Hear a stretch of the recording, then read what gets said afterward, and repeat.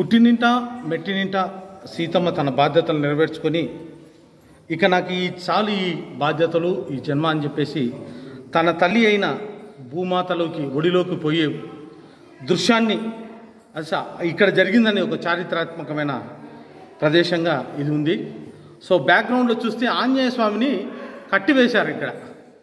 అమ్మ అమ్మను వదిలిపోవాలంటే ఎవరికైనా కష్టం. చెట్టుకు కట్టేసి పెట్టేశారు. సో వీళ్ళంతా కూడా భగవంతుడు సీత రాముడు లవకుశులు వీళ్ళిద్దరు కూడా ఏడ్చుకుంటా ఈ సైడ్కు బ్యాక్గ్రౌండ్లో ఉన్నారు. అసలు ఈ విగ్రహం అమ్మవారి విగ్రహం రెండు చేతులెత్తి బాగా ముక్కునే విధంగా అద్భుతంగా ఉండడం గొప్ప విశేషం. సీతమ్మారి.